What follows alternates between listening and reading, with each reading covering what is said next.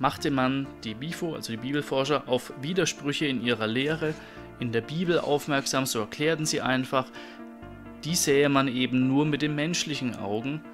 Bei Jehova gäbe es keine Widersprüche, er und seine Lehre seien unfehlbar. Bei vielen Gelegenheiten wiesen Himmler sowie Eike immer wieder auf diesen gläubigen Fanatismus der Bibelforscher hin als Vorbild. Genauso fanatisch, so unerschütterlich wie der Bibelforscher an Jehova glaubte, genauso müsse der SS-Mann an die Idee des Nationalsozialismus, an Adolf Hitler glauben.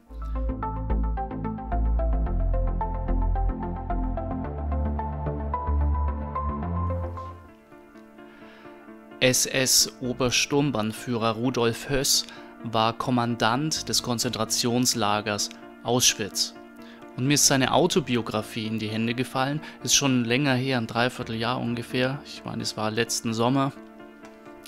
Und äh, einfach in so einem Büchertauschschrank. Ich wohne ja in einer Großstadt, da gibt es einige Büchertauschschränke, wo ich öfter mal reinschaue. Und dann dachte ich mir, sehr spannend, werde ich mir mal durchlesen. Ich möchte gar kein Buch vorstellen, sondern einige Inhalte dieses Buches aufbereiten und mitteilen. Ähm, ich hatte mal einen Englischdozenten an der Hochschule, der gesagt hat, wenn du ein Buch gelesen hast und es hat dich nicht verändert, dann war es kein gutes Buch. Und ich muss sagen, das ist eines der Bücher, die mich so sehr ins Nachdenken gebracht haben, die auch meine Perspektive übers Menschsein einfach ein bisschen äh, geschärft hat. Es hat mich sehr fasziniert, dieses Buch, und ich habe mir diverse Passagen angestrichen. Schon mal vorweg, warum ist es besonders interessant, äh, in diesem Zusammenhang zumindest? Ähm, er schreibt einiges über seine Begegnungen mit Zeugen Jehovas im KZ. Das wird der Hauptteil sein, ähm, wo ich gerne eine kleine Einführung geben möchte, was er denn da so schreibt. Denn das ist es wert, dass man sich das mal anhört. Was schreibt der KZ-Kommandant über die Inhaftierten? Zeugen Jehovas. Und diese Autobiografie stellt auch den Versuch dar, seine Sicht der Dinge darzulegen. Und ähm, ich habe gelesen, dass viele äh, die Gedanken von Rudolf Höss irgendwie abwegig, abartig, was auch immer finden. Aber äh, beim Lesen des Buches ist mir aufgefallen, ich kann nachvollziehen, ähm, was er schreibt.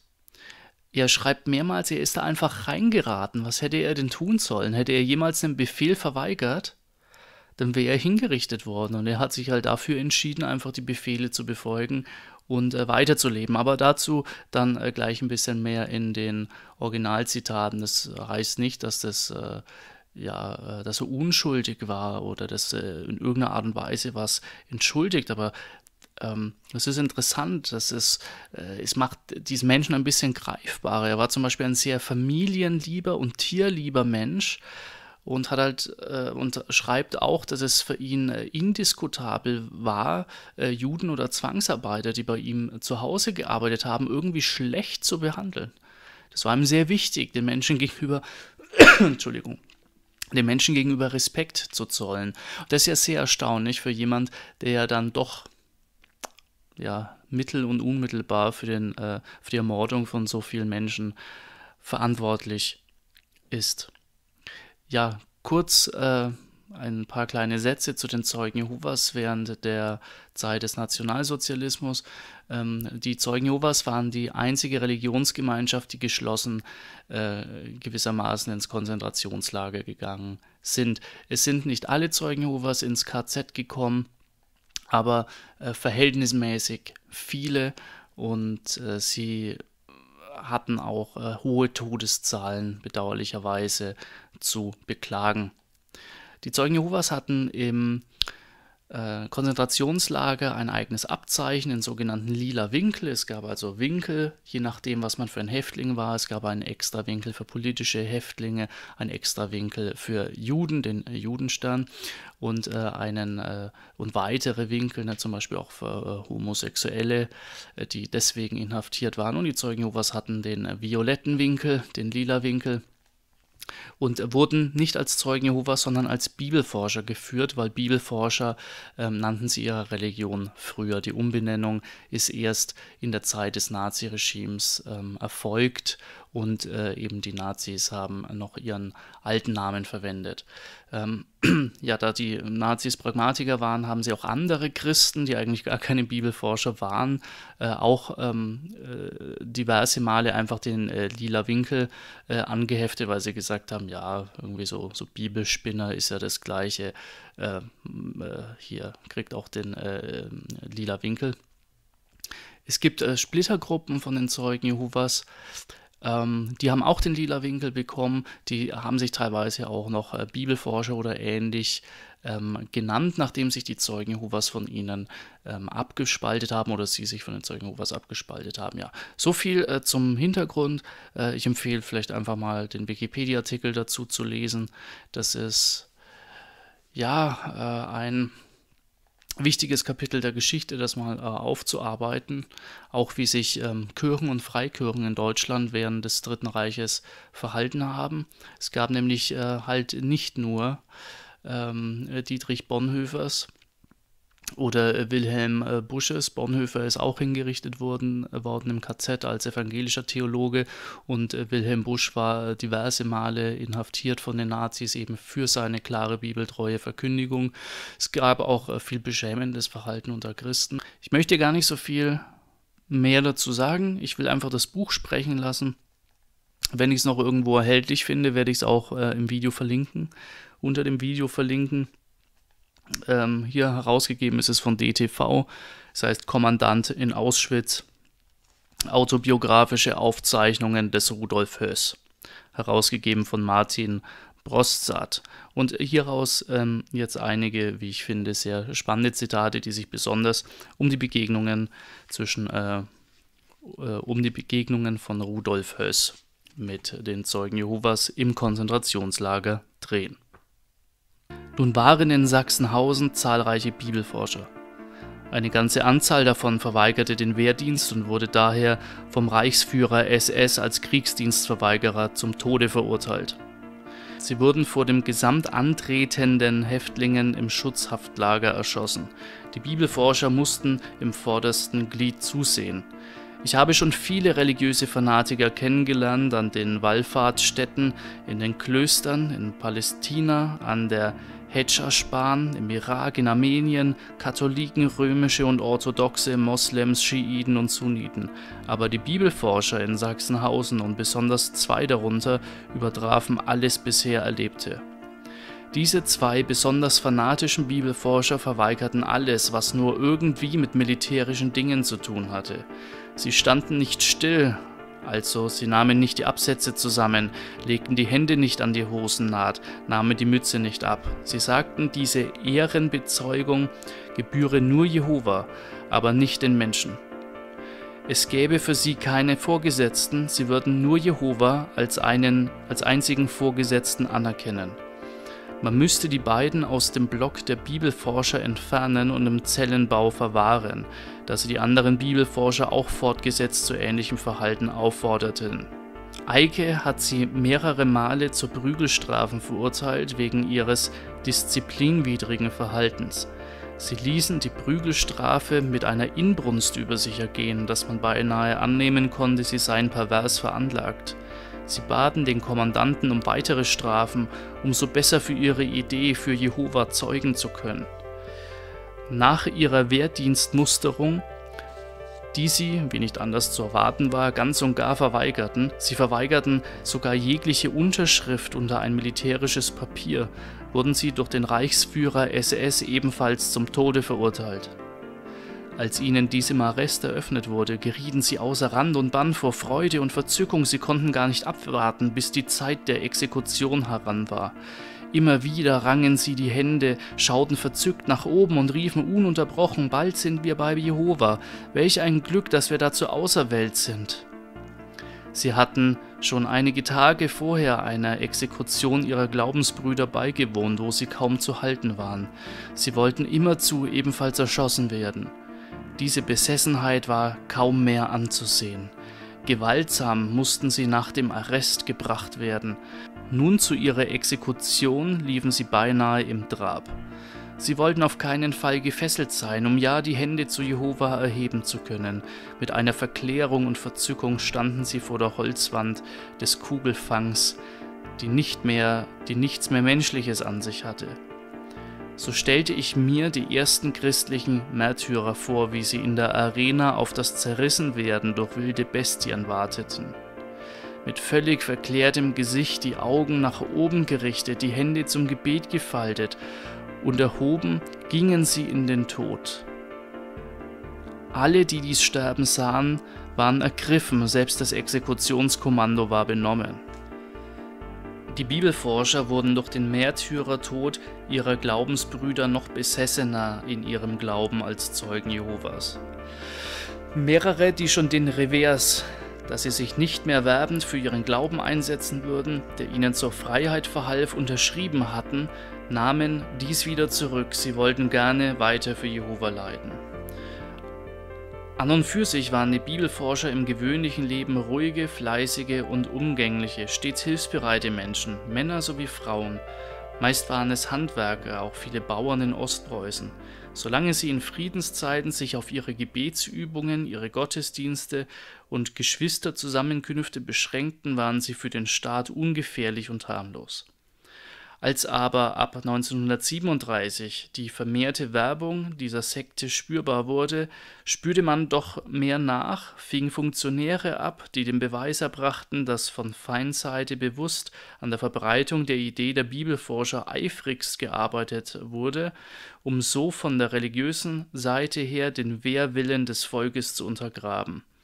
Bei Kriegsbeginn zeigte sich dann ja auch, welche Gefahr heraufbeschworen worden wäre, wenn man nicht ab 1937 die aktivsten Funktionäre und die fanatischsten Bibelforscher festgesetzt hätte und so der Werbung für die Zeugenschaft Jehovas Einhalt geboten hätte. Im Lager waren die Bibelforscher fleißige, zuverlässige Arbeiter, die man auch ohne Posten hätte rausschicken können. Sie wollten ja für Jehova die Gefangenschaft erdulden. Nur lehnten sie alles, was mit Militär, dem Krieg, irgendetwas zu tun hatte, strengstens ab. So verweigerten zum Beispiel Bibelforscherinnen in Ravensbrück das Wickeln von Verbandpäckchen für die Erste Hilfe. Fanatikerinnen verweigerten das Antreten zum Appell, nur im ungeordneten Haufen ließen sie sich zählen. Wohl waren die inhaftierten Bibelforscher Mitglieder der Internationalen Bibelforschervereinigung. Doch über die Organisation ihrer Vereinigung wussten sie wirklich nichts. Es waren ihnen gerade die Funktionäre bekannt, die ihnen die Schriften verteilten, die die Versammlungen, die die Bibelstunden abhielten. Sie hatten keine Ahnung, zu welch politischen Zwecken ihre fanatische Gläubigkeit benutzt wurde. Wenn man ihnen dies vorhielt, lachten sie darüber, das konnten sie nicht verstehen. Sie hatten lediglich dem Ruf Jehovas zu folgen und ihm treu zu sein. Jehova sprach zu ihnen in Eingebungen, in Gesichtern, durch die Bibel, wenn man sie richtig las, durch die Prediger und die Schriften ihrer Vereinigung. Das war alles lautere Wahrheit, an der es nichts zu deuteln gab. Für Jehova, seine Lehre zu leiden, ja in den Tod zu gehen, galt ihnen als begehrenswert. Sie glaubten eben dadurch erst zu auserwählten Zeugen Jehovas emporzusteigen. So sahen sie auch die Gefangenschaft, die Haft im Konzentrationslager. Willig nahmen sie alle Unzuträglichkeiten auf sich. Rührend waren sie in geschwisterlicher Nächstenliebe untereinander besorgt und halfen sich, wo es nur irgend möglich war. Doch kamen zahlreiche Fälle vor, wo Bibelforscher sich freiwillig zum Abschwören meldeten. So wurde dieser Vorgang von der BIFO bezeichnet.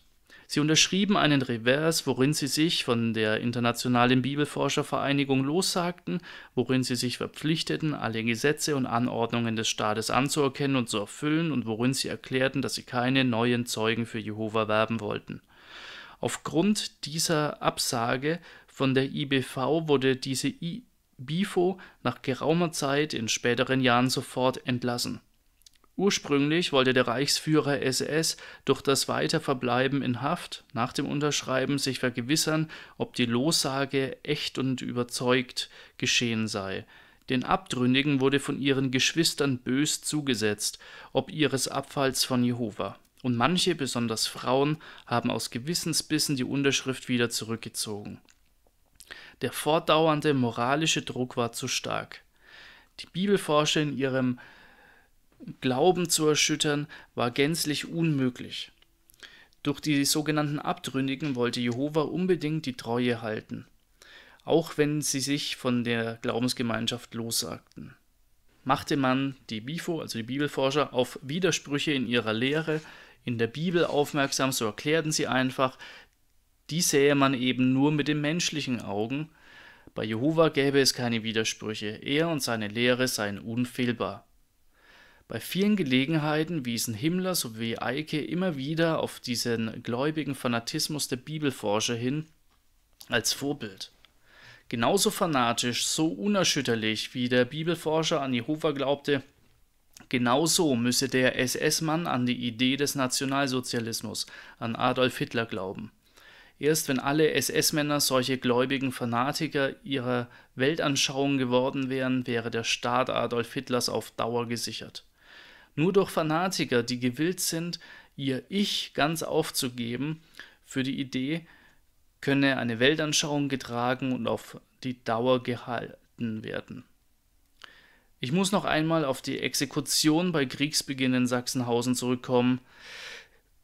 Wie verschieden war doch das in den Tod gehen. Die Bibelforscher in einer eigenartigen, zufriedenen, man kann sagen, verklärten Stimmung, in dem felsenfesten Bewusstsein, nun in das Reich Jehovas eingehen zu dürfen. Die Kriegsdienstverweigerer und Saboteure aus politischer Überzeugung, fest, gefasst und ruhig, sich in das Unabänderliche ihr Schicksal fügend. Die Berufsverbrecher, die wirklich asozialen, entweder zynisch frech, gemacht forsch auftretend, aber innerlich doch zitternd vor dem großen Ungewissen oder tobend sich wehrend oder auch jammernd nach geistlichem Beistand.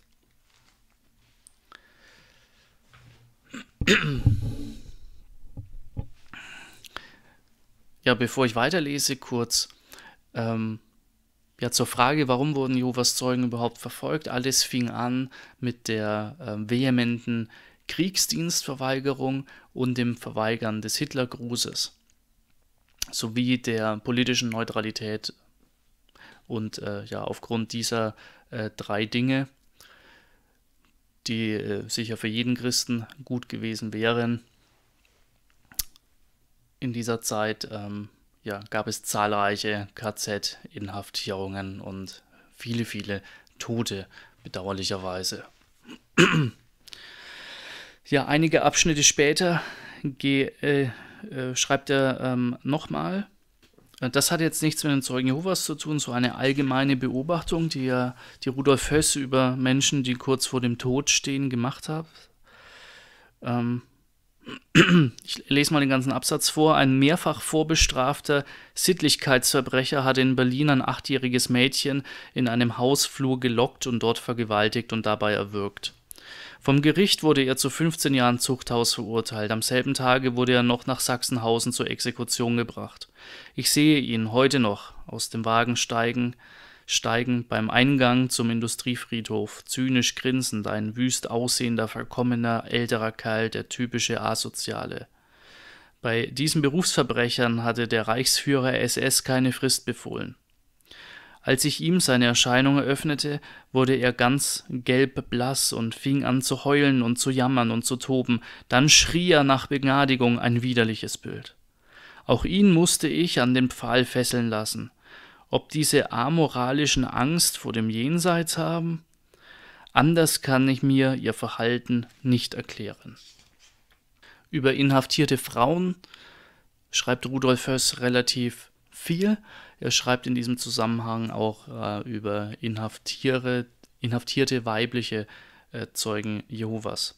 Ich zitiere ein erfreulicher Gegensatz waren die Bibelforscherinnen, Bibelbienen oder Bibelwürmer genannt.